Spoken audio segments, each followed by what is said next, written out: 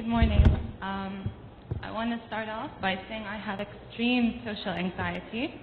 I hate speaking in public, but uh, 2014 is about me pushing myself, take myself out of my con- comfort zone.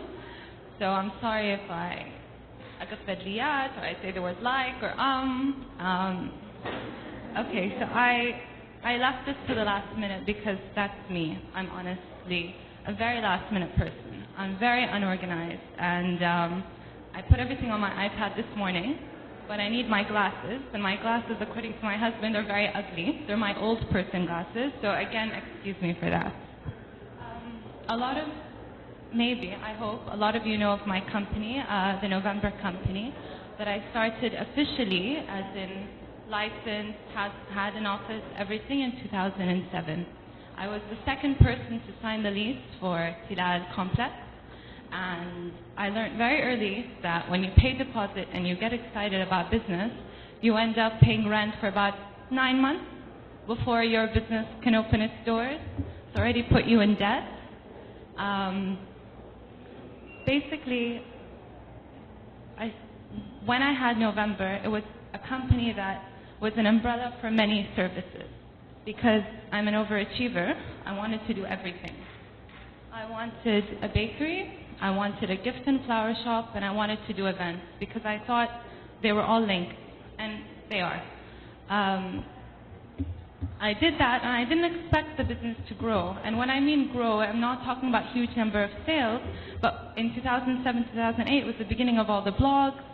Um, there wasn't Instagram, but I mean, uh, social media was active, and the word was getting out. And we wrote a lot. I personally wrote a lot, and so did my we wrote a lot on the blog and we gave advice and we talked about the importance of events and how how November was about the soul of events and um, and the charm and the personality of parties and special occasions. It's not about just the show and what people say. Oh wow, you know the decor is great, but I wanted more.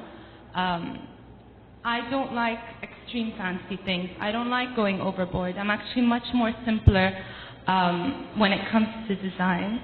Um, there's my ums, I'm sorry.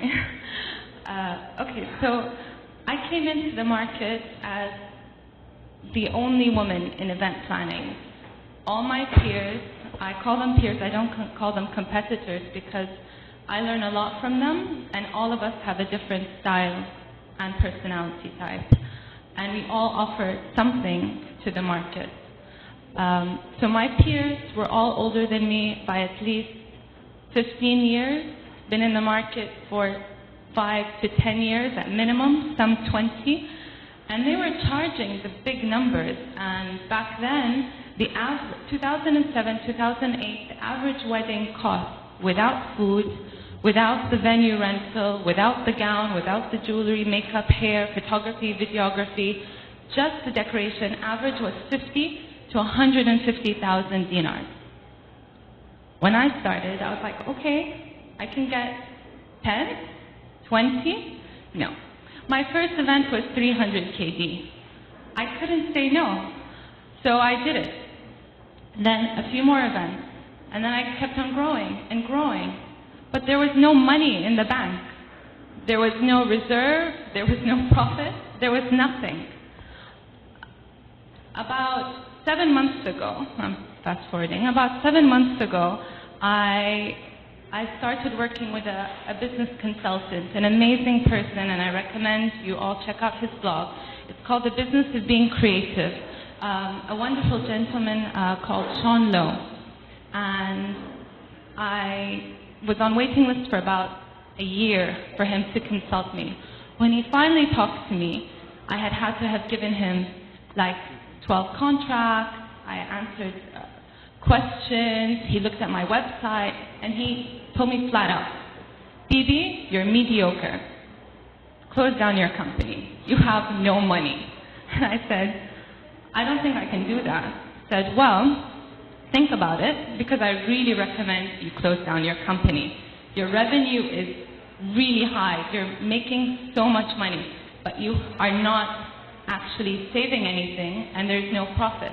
You're spending exactly what you're getting. So I said, okay. He said, Bibi, don't give your clients fancy things. They're not paying for them. You can't keep on giving all your time, all your energy to all your events. It's not, it's burning you out. You're tired. Um, so we think, you know, unless you're going to radically change something about your company, shut down, take the money, go on the vacation. And of course, I went into depression for about 12 minutes because I have the memory of a goldfish. I just forget uh, lessons and everything. So I was like, no, no, no. I'm going to keep on doing this, but I'm going to change my ways. So what I did was he, what he helped me see. I will not say that I could see anything. He helped me see this. He said, everything's under November, and November is for everyone. It's medium to luxury, but it's accessible to everyone. Your event and what you want for the future of your design company and your design team isn't average or accessible to everyone. You want something special. And I said, yeah. And he said, well, stop being mediocre and stop tying it in with November. November's a great company. Split. So I said, okay. And then he said, name it Bibi Hayat event. I'm like, why? He said, so you can't hide behind it. And I said, okay. He said, okay. I said, okay. So he's like, this is what I'm going to do for you. I'm going to email your graphic designer because I have her contacts and she's going to send you the new logo. And I said, okay, I'll do that. So what he did was he pushed me out of my comfort zone and helped me see, yeah, he helped me see that if I was going to do it on my own, it's going to take me seven years to evolve because I'm slow like that. So he pushed me out there. He made me phone conference my uh, graphic designer in the States for my website, tell her, hold on the new website. Bibi's going to make a new website for event, and November is going to be its own thing. So that's what I've been doing for the last six months. I stepped away a little bit from November in terms of design, and I've started developing what I want my events to look like. I can't I learned the hard way that I can't be everything. I can't be the designer who does romantic weddings. I can't be the ultra modern person. I can't be the classic person. I can't appeal to everyone. And I'm burning out trying to convince my clients that I am what they need. And I was like, let me create my own identity. Let me be true to myself. Find out what I can do best. And then my clients, if they like what I do, they'll come to me because I'm a horrible salesperson. I can't even do presentations. I still print everything out and clip them on boards. I don't. I tried to make a presentation, I couldn't. Um, so I found that it's very hard learning who you are as a designer because you want to be popular. There's this need to please everyone and make sure that everyone thinks you're great. And I said, well, I can't because that's wearing me down not design, but everything else about business was bringing me down. Negative comments on social media. I hate social media, and I'm sorry if there's any bloggers here. I know you're great, but I, I don't react well to social media, and people take what we put out there. Maybe they understand it in a different way, or they find that it's fine to comment and discuss our designs and our ideas, and also criticize our work in the public. And people forget that that's someone's wedding out there. That's someone's flower arrangement. That's someone's dream day. And you're just bashing it because you don't like red and white. You know? So I I found that I again I just want to go back to what I love. And I am comfortable with what I love. So if I'm comfortable with what I love and I'll be able to do it as best as I can do it and do it excellently and try to be as perfect as possible because I'm already halfway there. This is me. Instead of me trying to be the super chic, ultra modern, suave wedding planner or the you'd be surprised. I did a survey and I found that like 80% of people in Kuwait actually like the classic Maliki style weddings. But that's the market. And if I wanted to make money, that's what I'll do. But I'd rather love what I design and and be proud of it.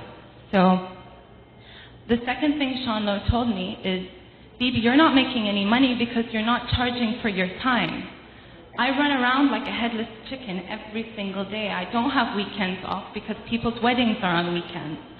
Sunday, I have to sign all the checks and meet my staff and organize and see what got broken and did the flowers go back to the client. So, and then it just it it just becomes a non-stop marathon of multitasking. So I found that yeah, I'm not getting paid. I'm nobody's valuing my time and money. So no one's valuing my time and design, and I'm not getting paid for it. This isn't fair. He says, well, yeah, because in the States and in Europe and in all the other parts of the world, designers say, this is my flat fee based on a percentage of, of the entire event or just a basic flat, uh, flat fee. And whatever you want to pay for your event, well, that's your problem. As soon as you pay me our design fee, We'll make sure your event is 100% the best event that we can do. So as a client, you know how much your designer is getting, but you also know exactly what's going to be spent. Instead of saying, okay, my budget is 10,000, maybe you don't realize that only what's going to be spent is six. Where did the other four go?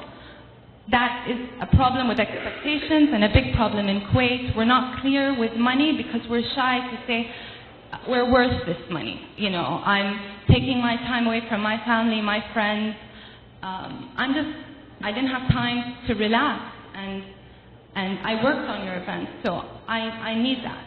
I deserve that, and I find a lot of people feel the same way. Photographers, uh, interior designers, um, creative individuals in Kuwait, they all suffer from this because عندنا عيب haram. I can't say I, you know, uh, this is my money. And we also have a problem is in quick, be like, Shtawa. Really? It takes you that long, that much money to design me just a little stage and some flowers? And I said, well, now I have the confidence. It took me seven years. Um, but now I say, well, if, if it's that simple, do it yourself. And some people do it themselves and hate me. Some people don't, and they become my clients. And, and it's that trust um, and it's that um, it's that confidence that you get when the client says, I trust you, here's the money, do, make me a beautiful event. And then suddenly that event is the best event. I mean, my staff know that when I'm pushed to take an event not, I'm not 100% comfortable with, there's going to be 11 mistakes that happen. That's just the way things work. And once we're comfortable and our, our client feels com- confident in us, then that event is amazing. So um, my basic advice to anyone here in any, if you're in design or um, you're a creative individual, then always charge a design fee and be very honest about it.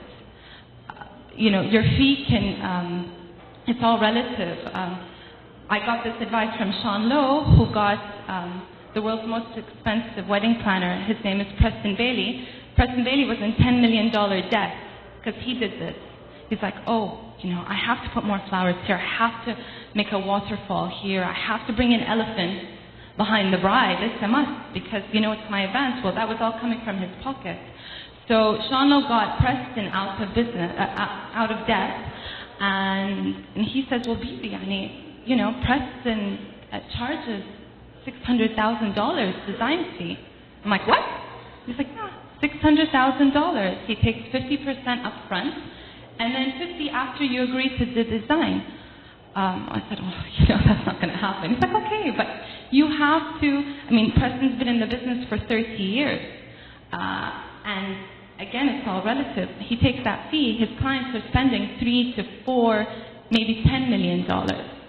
That's a certain clientele. That's something very specific. But my point is, big or small, everyone's taking a design fee. Um, people, and something people have to understand that when I first started, I relied on outsourced individuals to help me. So I had to find an electrician, I had to find a painter, I had to find a carpenter, I had to get these all together. And when they came, They might, sorry to say, they might smell, so I had to provide them with uniforms. No one understood that that was all payment. Um, and then I wasn't confident with their work. Be uh, bad finishing, that's my problem. Uh, they're late, that's my problem. And I was getting into a lot of problems, and it affected my reputation. So I said, stop. I can't do this. I need to bring, I need to have my own team. It took me about three years to make my own team up, and we continue to lose some people, gain some people, lose some people, and gain some people. But right now, when I do events, it's not just Bibi Hayat, it's Bibi Hayat plus 48 people. And if you want your events to be perfect, if you want the lighting to be fantastic, if you want everything to finish on time and not have us close the Sheraton doors 20 minutes before your guests come because we're doing last minute things, if you want a perfect event, then you pay for me plus my 48 people. If you don't want to pay, again, that's fine, but that's your risk and your headache and your stress and all the Valiums you have to take before your wedding. Um, but I realized something that, oh my God, I have two warehouses. One is 1,800 square meters, and another is 1,200 square meters, full, full to the ceiling, like four meters and seven meter warehouses full of furniture. If I sell it, it's worth nothing. Um, and I don't even know what's in there. So about six months ago, we started going in and looking at all the stuff that we had, all the furniture, and we're like, wow, this is usable. Because I, I, have a problem again. I'm very, um, I'm very about the quality. I import all my fabrics. I get everything made really fancy, and it's just sitting there. What a shame. Other people can use this. So if you don't want a custom designed event, then you can customize your own event with a segment that we're starting called simplynovemberrentals.com. So what's going to happen is there'll be a website, there'll be a menu, there'll be inspiration boards, and there'll be all sorts of furniture listed under categories. If you're having a party, if you're having a seminar, reception, and you have a good sense of style, then all you have to do is book the furniture. You, you fill out a form, send it to us, we confirm it's not being used, and we'll deliver the stuff for you. If you're a little unsure, it's not going to fit, it might not match, I don't know if it can come through my apartment stairs, I don't know if it can, I don't know, can you bring it to the chalet? Then we'll send the design team, measure up your space, and offer you two layouts. Um, so I found that I didn't disconnect from all my clients. I I'm offering them a better service. And what, and what the website is helping me do is, is I don't personally have to be there because people expect me to.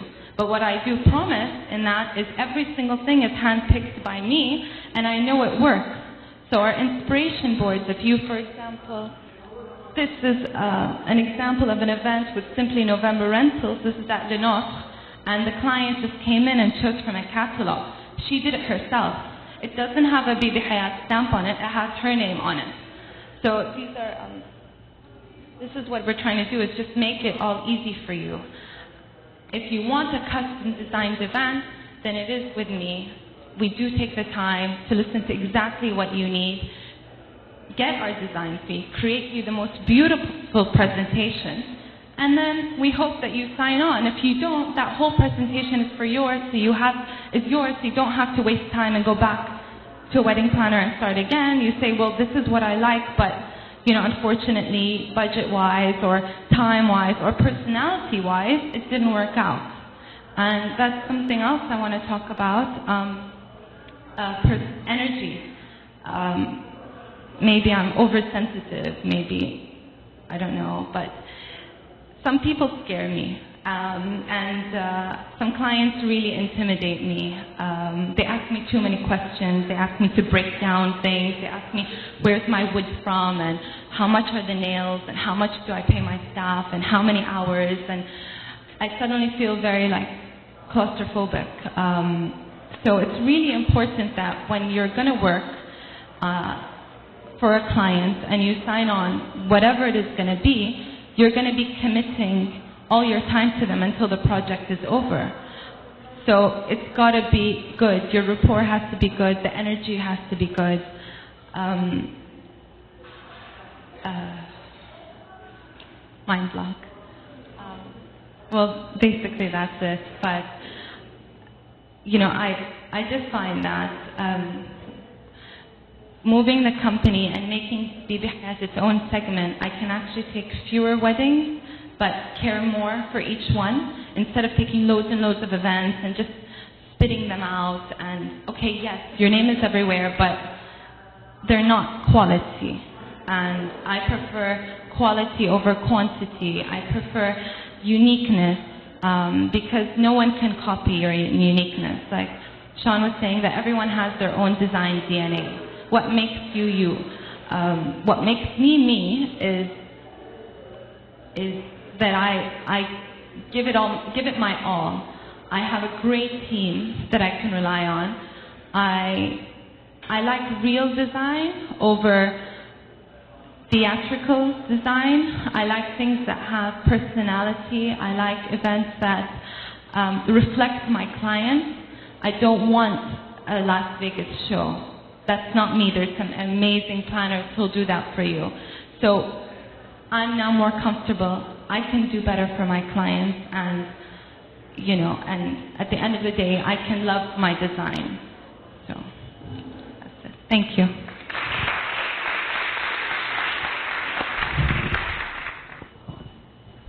We have eight minutes for questions.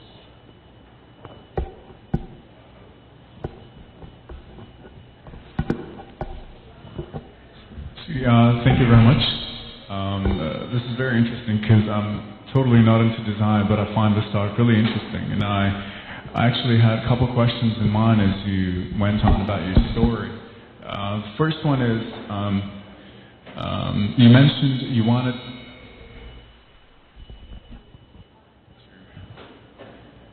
Uh, first question is you mentioned you wanted to be. My voice brings feedback.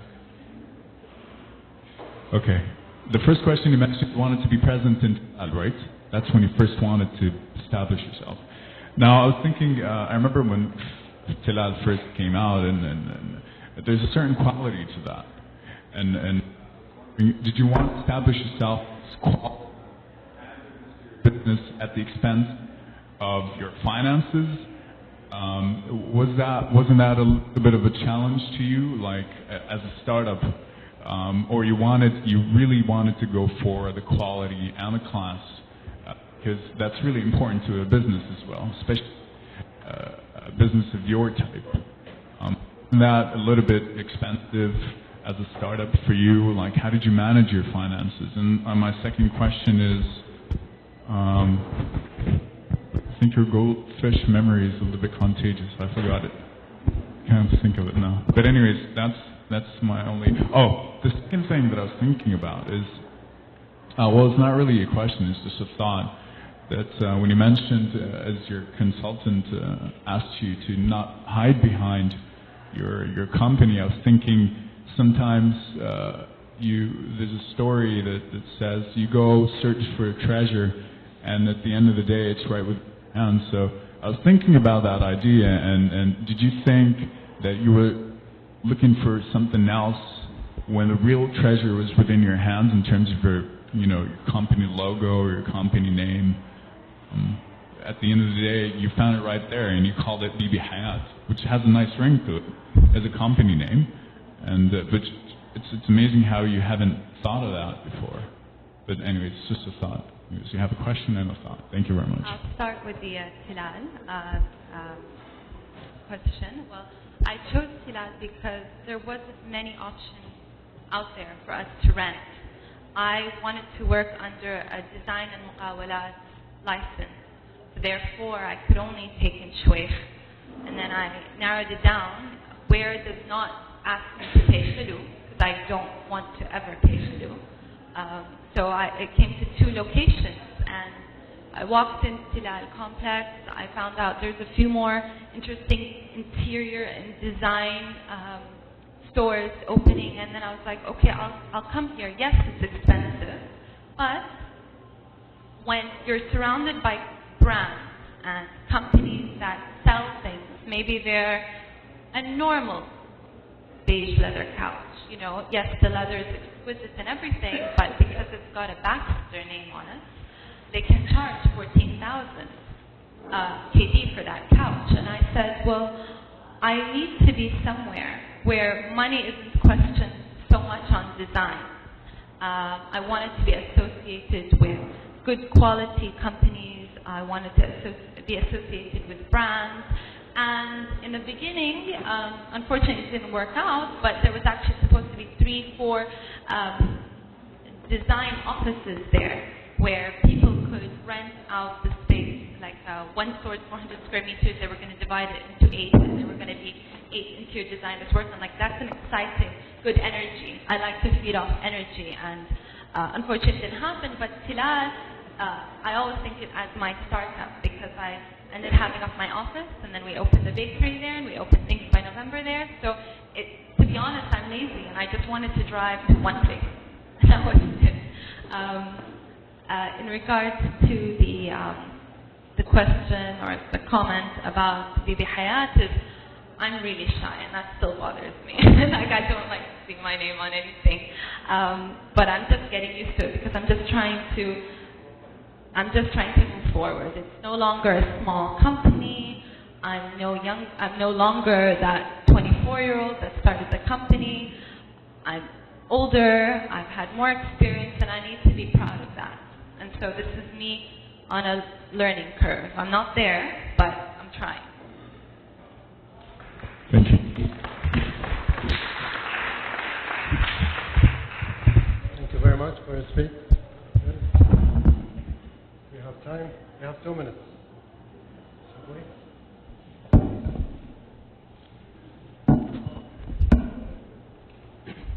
Thank you for presentation. And I want to ask you, you mentioned about how some clients intimidate you. I was asking, or my question is, what are the limits that you think the client should be involved in the design or the whole process? What are the limits? I, I think I made a mistake two years ago when I started getting, um, when clients started getting too involved in the design process. So I actually wrote in contract how many phone calls we can have, when the meetings were going to be, and time limits. Actually, that scared a lot of people away, and I had the reputation of being snobby. I wasn't. I just, I, you see, weddings are really emotional. We'll start with that. The essence is it's very emotional. It's very difficult. It's the most important day of everyone's life. It's the beginning of a new chapter, and and I get that, but maybe because I'm not a very panicky person, I I didn't, I wasn't sensitive towards my clients in that aspect, and and I also was very nice. مستحيل أقول لا. So I get phone calls uh, at 10 p.m., 7 p.m., or in the morning when they woke up and had a panic attack, and I was accessible. I left them. You know, it's my fault. Uh, I also like it's my birthday, but there was a wedding the next day. I'd be hi, baby, happy birthday. And saying back to start sister, I'm like, yes, okay, I'll be there. Um, uh, uh, and the when I say intimidated, they're not scary, but it's just all the questions make me worried. And, and the truth is, it's because I'll just go back to it. I was unorganized. I'm working to be more organized, and the more organized, and the more I can think forward and try to, um, you know, just plan properly, I'll be able to answer their questions in a minute. I'll be able to fix their worries, and I'll be able to document everything for them so they can see it and be comfortable with it and not leave things to the last minute. So uh, I'm familiar with the fact that every business in Kuwait has to struggle with things like racketeering because of people charging exorbitant khulu or exorbitant rents with few services, and obviously with all the difficulties that come with dealing with the government, filing your papers, trying to get staff. What specific points, if you were on a panel, say, to the government. What specific points would you recommend? What kind of rules would you recommend that they implement? What kind of uh, bureaucracy would you um, suggest they scale back on uh, in terms that would help small businesses really prosper, like yours specifically? And, uh, and also staffing. I have a problem that I can't hire uh, enough staff because according to uh, Shu'un and Belediyah, my office doesn't have enough desks. So I can't hire um, more than 12 staff. I have 38. So what I'm doing is I'm renting offices to Sira just to have seven, eight staff in each one. There's nobody there. There's two empty desks and just pencils and a clock, and that's about it. I gave them each a plant just for energy. Um, but my, I think that the one thing um, I would do is do a proper segment for established business, um, startup businesses, and actually maybe have a panel of people that look into every business and help them see that okay, well these need more staff. Um, yes, it's a small location, but they deliver. It's a small location, but they have sales, so they're not sitting on their desk. They do require more people. Um, definitely the staffing issue, uh, licensing, like, I mean, there's so many issues that uh, occur on a daily basis, and I'm constantly here in uh, right across the street, at least weekly. Um, but I think that the main, the main thing is to maybe have a panel of intelligent business owners maybe uh, sit um, and help small businesses with basic rules, like, okay, you want to open up a business, you're applying for a license, here's like a, a three-page, you know, how to do it, where to go, this person to talk to, that kind of thing. I hope that helps.